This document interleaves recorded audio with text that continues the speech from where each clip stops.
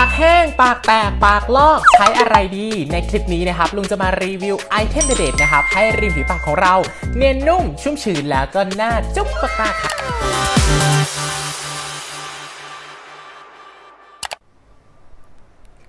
สวัสดีครับทุกคนกลับมาพบกันนังเกิลกันอีกแล้วนะครับสำหรับในคลิปนี้นะครับ ลุงมารีวิว ตามคำเรียกร้องแล้วนะครับ ใครที่มีปัญหาในเรื่องของริมฝีปากของเราดูแห้ง ดูแตก ดูลอก จะใช้อะไรดี จะทำอย่างไรดีนะครับ ในคลิปนี้นะครับลุงก็เลยไปรวบรวมนะครับไอเทมเด็ดๆนะครับดูแลริมฝีปากของเรา ให้เนียนนุ่ม ชุ่มชื้น แล้วก็น่าจุ๊บมากขึ้นนะครับ จะมีไอเทมเด็ดๆอะไรบ้าง ติดตามชมกันได้ในคลิปนี้เลยครับเอาละครับถ้าอย่างนั้นนะครับ เรามาเริ่มกันเลยดีกว่านะครับ แต่ก่อนแรกลุงต้องบอกว่าสำหรับตัวลุงมีปัญหาอะไรเกี่ยวกับริมฝีปากบ้าง ต้องบอกว่าเป็นคนที่โชคดีตรงที่ว่ากินน้ำได้เยอะนะครับริมฝีปากก็เลยไม่ค่อยมีปัญหาเรื่องแห้ง เรื่องแตกสักเท่าไหร่นะครับก็เน้นไปในเรื่องของการเติมความชื้นนะครับ ให้ริมฝีปากมีความเนียนนุ่มมีความชุ่มชื้นมากขึ้น และปัญหาหลักของลุงเลยนะครับ นั่นคือริมฝีปากที่มันดูดดำแล้วก็คล้ำมาก ไม่ได้ดูดบุหรี่ ไม่ได้ดูดบุรุษ ไม่ได้ดูดอะไรทั้งสิ้นนะครับ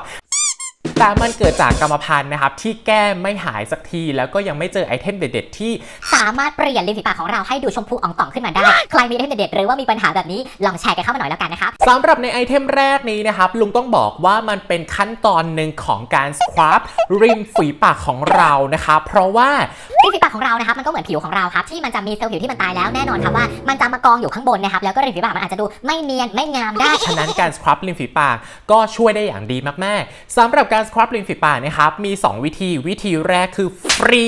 ฟรีฟรี นั่นคือการใช้เจ้าพวกแปรงสีฟันนี่แหละนะครับ หลังจากที่เราแปรงฟันเสร็จเรียบร้อยแล้ว เราก็เอาไอ้เจ้าตัวแปรงสีฟันเนี่ยมาขัดเบาๆนะครับบริเวณริมฝีปาก อันนี้ก็ช่วยได้อย่างดีมากๆนะครับคุณผู้ชมจะรู้สึกว่าเออริมฝีปากที่มันมีเซลล์ผิวที่มันตายแล้วเนี่ยมันหลุดออกไปริมฝีปากมันก็จะเนียนนุ่มชุ่มชื้นมากยิ่งขึ้นนะครับการใช้แปรงสีฟันเนี่ยก็ฟรีอย่างที่บอกแต่ส่วนใครนะครับที่อยากได้ออปชั่นเสริมขึ้นมานะครับสามารถบำรุงริมฝีปาก ตอนสครับไปด้วยได้นะครับลุงแนะนำเจ้าตัวนี้เลยนะครับเป็นสครับที่ลุงใช้แล้วชอบมากที่สุดนะครับ นั่นคือเจ้าตัวนี้เลยจากชีววิถีนั่นเองนะครับ ต้องเรียกว่าใช้หมดไปแล้วเป็นหมื่นซองนะครับ ก็ไม่ถึงขนาดนั้นนะครับ อันนั้นก็เวอร์ไปนะครับ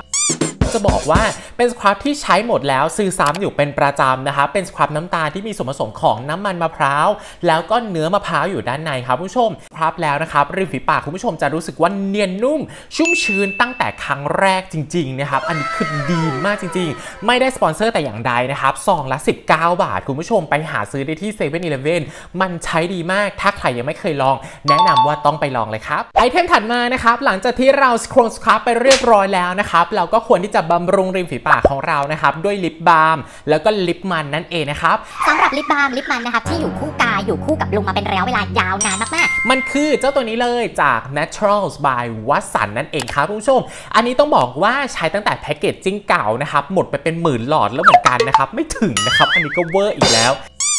ตัวนี้นะครับที่ลุงใช้เป็นสูตรโอลิฟนะครับผู้ชมคือฝาเฝอหลุดไปหมดแล้วอะลุงก็ยังเก็บไว้นะครับเพราะว่ามันยังมีเนื้อข้างในอยู่นะครับนี่นะครับมันจะเป็นสูตรโอลิฟนะครับถ้าลุงจำไม่ผิดมันจะมีอยู่ประมาณ 3 สูตรคุณผู้ชมลองเข้าไปดูนะครับที่วัดสันนะครับเวลาใช้แล้วนะครับผู้ชมเราจะรู้สึกว่าเออมันไม่มันมันไม่วาว มันไม่เยิ้มจนเกินไปนะครับแล้วก็ทาแล้วเนี่ยมันสามารถเคลือบริมฝีปากของเราได้ค่อนข้างดี เหมาะสำหรับใครเหมาะสำหรับผู้ชมนะครับที่อยากได้ลิปมันลิปบาล์มที่ทาแล้วรู้สึกว่าเหมือนไม่ได้ทาอะไรนะครับแต่บำรุงริมฝีปากได้ค่อนข้างดีเนียนนุ่มชุ่มชื้นมากๆ ตัวนี้ลุงแนะนำนะครับไอเทมถัดมานะครับเริ่มมีสีสันขึ้นมาสักนิดหน่อยนะครับอันนี้จะเอาไว้แบบเวลารู้สึกว่าเออปากซีดนะครับเป็นศพนู่นนี่นั่นอะไรแบบเนี้ย ตัวนี้ก็จะตอบโจทย์มากๆนะครับ มันคือ Honey V BSC อีกแล้วนะครับ ท่านตัวนี้นะครับ ลุงพูดอยู่เป็นประจำถ้าใครอยากหา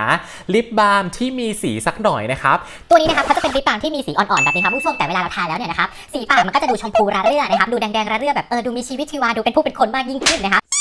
ตัวเนี้ยมันดีตรงที่ว่ามันไม่มันจนเกินไปนะครับ แล้วมันก็ทำให้ปากเราเนี่ยดูไม่สดจนเกินไปนะครับ รู้สึกว่าทาแล้วมันยังดูเป็นธรรมชาติอยู่ของริมฝีปากปกติของคนเรานะครับมันไม่ได้แบบเหมือนทาอุทัยทิพย์ที่มันแดงจึ่งขึ้นมาขนาดนั้นนะครับ ตัวนี้ก็เลยชอบมากๆนะครับ แล้วก็ก็ราคามันดีครับผู้ชมประมาณ 30 กว่าบาทถ้าลุงไปซื้อมานะประมาณ 30 กว่าบาทนะครับใครที่ยังหาได้ก็แนะนำว่าต้องไปลองนะครับอันนี้ก็มีสีแบบเบาๆเหมือนกันครับและสำหรับไอเทมสุดท้ายนี้นะครับเรียกว่าเป็นไอเทมกู้ปากสำหรับใครหลาย ๆ คนเลยนะครับไม่มีใครไม่รู้จักนะครับ นั่นคือเจ้าตัวนี้เลย petroleum jelly นะครับตัวนี้จากวัสลีนะครับคุณผู้ชม 100%นะครับ petroleum jelly นะครับจะช่วยในเรื่องของการเพิ่มความชุ่มชื้นให้กับผิวของริมฝีปากเรานะครับไม่ใช่แค่ริมฝีปากเจ้าตัวนี้สามารถใช้ได้ทั้งทั่วร่างกายเลย ตัวนี้นะครับผู้ชมมันจะแตกต่างจากที่เป็นกระปุกอยู่นิดหน่อยตรงที่ว่าพอเป็นหลอดแบบนี้นะครับลุงรู้สึกว่ามันไม่ต้องไปโจกนะครับไม่ต้องไปกวากแบบนี้นะครับมันก็ไม่ค่อยสะดวกในการใช้สักเท่าไหร่นะครับแล้วด้วยความที่มันเป็นหลอดแบบนี้มันก็ใช้ง่ายนะครับ สำหรับตัวนี้นะครับลุงต้องบอกว่าลุงไม่ได้ใช้ในวันแบบ